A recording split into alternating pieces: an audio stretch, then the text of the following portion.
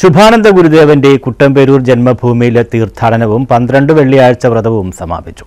ആത്മബോധോദയ സംഘം general secretary Appukuttan ഉദ്ഘാടനം നിർവഹിച്ചു. ആത്മബോധോദയ സംഘം സ്ഥാപകൻ ശുഭാനന്ദ ഗുരുവിന്റെ കുട്ടമ്പേരൂർ ജന്മഭൂമിയായ ആദർശാശ്രമത്തിൽ തീർത്ഥാടനവും പന്ത്രണ്ട് വെള്ളിയാഴ്ച വ്രതസമാപനവും സമാപിച്ചു. ആശ്രമ ആചാര്യൻ മണിക്കുട്ടൻ മുഖ്യ കാർമ്മികത്വം വഹിച്ചു. ഇരുമുടിക്കെട്ടുകളുമായി വിവിധ ശാഖകളിൽ നിന്നും ഭക്തജനങ്ങളെത്തി. രാവിലെ പതിനൊന്നിന് പ്രദക്ഷിണം നടന്നു.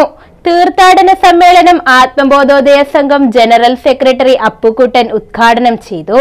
പ്രശാന്ത് ചിങ്ങവനം ഷാലു കുട്ടമ്പേരൂർ അനിൽ മാന്നില എന്നിവർ ആത്മീയ പ്രഭാഷണം നടത്തി.